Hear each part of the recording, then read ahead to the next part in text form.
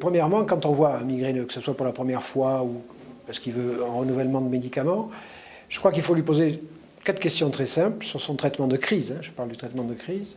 Euh, premièrement, est-ce que vous êtes significacativement soulagé deux heures après la prise des médicaments?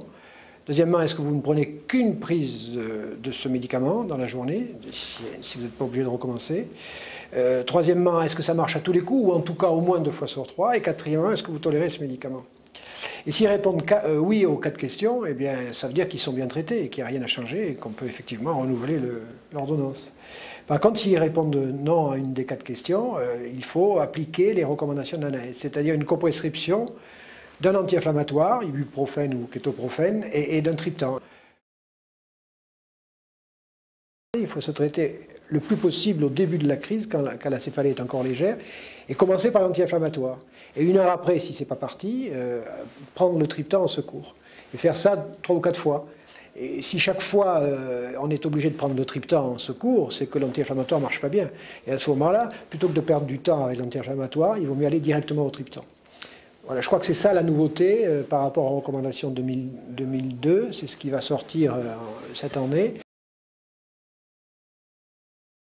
Il faut effectivement que le, médecin interroge sur le, type de crise qu'a le patient.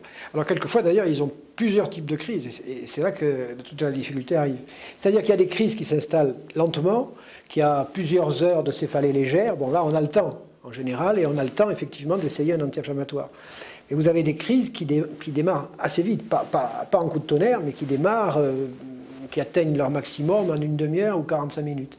Et là, je crois qu'il faut aller vite, et c'est là que ça peut être intéressant de mettre, euh, de mettre un triptan. Et puis aussi, il y a des circonstances particulières, la crise nocturne qui survient pendant le sommeil, où le sujet est réveillé avec une douleur qui est déjà sévère.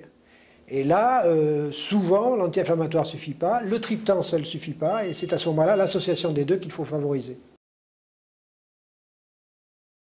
Il faut, il faut, voir son médecin traitant. Mais si le médecin traitant ne, ne, répond pas à, à la demande, et ça arrive, hein. il ne faut pas hésiter à ce moment-là à aller voir quelqu'un d'autre, hein, éventuellement quelqu'un qui, est spécialisé là-dedans. Il y a des centres de migraineux, pas partout bien sûr, mais il y a des centres migraineux dans, dans la plupart des grands CHU. En tout cas, euh, les services de neurologie euh, honte des gens euh, qui consultent euh, et qui, voient des migraineux et qui leur donneront des solutions parfois euh, qu'ils n'ont pas.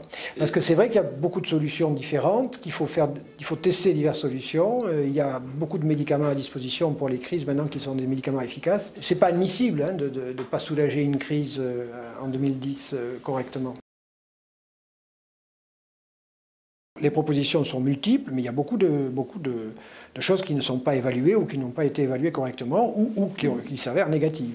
Je parle de l'homéopathie, je parle de l'acupuncture, euh, je parle de, toute une série de... Qui, ont été testées scientifiquement et qui ne donnent pas des résultats.